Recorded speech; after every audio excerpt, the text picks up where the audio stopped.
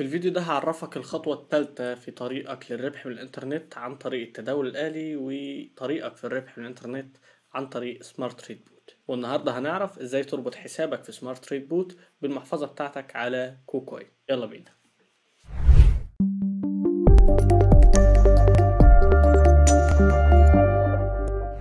أهلا بكم معايا يا شباب معكم عبد الله السيد درس جديد من دروس الربح من الإنترنت. النهارده زي ما أنا قلت لك كده ده الفيديو الثالث في السلسلة بتاعتنا إزاي تبدأ تاخد طريقك في الربح من الإنترنت عن طريق تداول آلي أو عن طريق شركة Smart Trade Bot. فالنهارده هعرفك إزاي تقدر تربط المحفظة بتاعتك بشركة Smart Trade Bot علشان تفعل عليها أي bot وال bot يشتغل ويجيب لك أرباح. فزي ما أنتم شايفين قدامكم كده خلينا نفتح على طول في الشرح العملي. بس حط like على الفيديو قبل ما نبدأ على طول. زي ما أنتم شايفين قدامكم كده ده حسابي على Smart Trade Bot ده حساب جديد. هربطه بال bot جديد. تمام؟ علشان تبدأ تربط الحساب بتاعك علشان تتأكد إن الحساب بتاعك محتاج يتربط هتيجي هنا عند كلمة my wallet هتضغط عليها بالمنظر ده هتلاقي الكلام ده كله فاضي. هتقدر تربط محفظتك هنا بالمحافظ دي كلها. عندك Binance عندك KuCoin OKX و Bybit عندك كل المحافظ دي وفي منهم محافظ ما بتحتاجش أي تفعيل لأي هوية أو أي حاجة. للناس اللي عندها مشاكل في مجال العملات الرقمية في الدول بتاعتهم. طيب أنا هختار KuCoin لأن دي اللي هنشرح عليها النهاردة وإن شاء الله كل محفظة من المحافظ دي هنشرح عليها آه، فيديو خاص. تمام؟ هنا هنبدأ إن إحنا آه، نحط البيانات اللي مطلوبة قدامنا هنا. طيب هنجيب البيانات دي منين؟ طبعا بعد ما تفتح حساب KuCoin من ال link اللي هسيبه لك في ال description. وطبعا لو أنت لسه ما سجلتش في Smart Trade Bot برضو هسيب لك ال link ده كمان في ال description. هنروح على حسابنا في KuCoin وبعد كده هنبدأ إن إحنا نضغط على علامة ال- الشخص دي أو علامة ال account بتاعتنا أو علامة ال profile. تضغط عليها بالمنظر ده وهتنزل لتحت عند كلمة API Management. هتضغط عليها بالمنظر ده تمام؟ هيبدأ إن هو يفتح لك الصفحة اللي قدامك دي. بيقول لك هنا علشان تبدأ تفعل ال API بتاعك محتاج إنك تفعل ال verifications دول أو عوامل الأمان دي.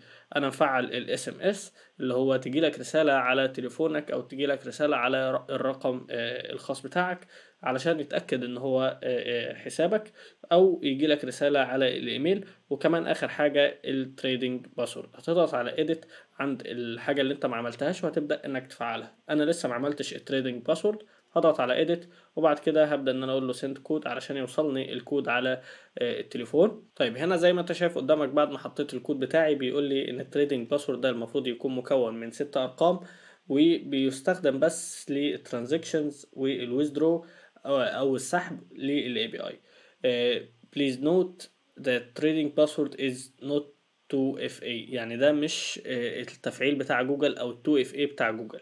هقول له تمام؟ بعد كده هبدأ إن أنا أحط ال trading password بتاعي واضغط على confirm طيب وبعد ما فعلت ال trading password بتاعي فتح لي الصفحة اللي قدامك دي. هنا زي ما أنت شايف قدامك أقدر إن أنا أحط API زي ما أنا عايز.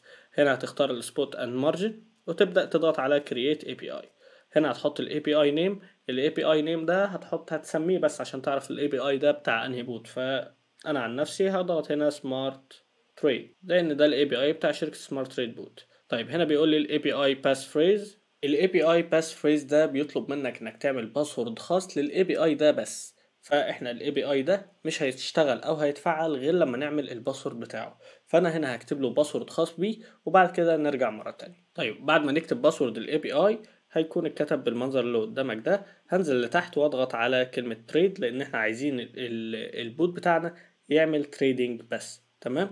هنا في ال transfer مش هتعمل عليها أي حاجة هتسيبها زي ما هي. وبعد كده هنا ال API restriction هتخليها no. وبعد كده هيبدأ إن هو يفتح لك الصفحة دي هيقول لك أنت عايز تخليه كده لمدة قد إيه؟ أنا هخليها بمنتهيتي يعني هخليها للأبد. أنت لو عايز تحدد مدة حددها ولكن أنا مفضلش إنك تحدد.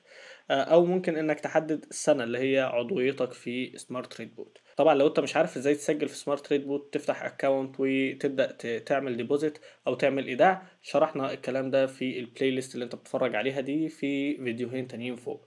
فاتفرج عليهم أو خد الفيديوهات دي بالترتيب هيكون أفضل ليك. تمام؟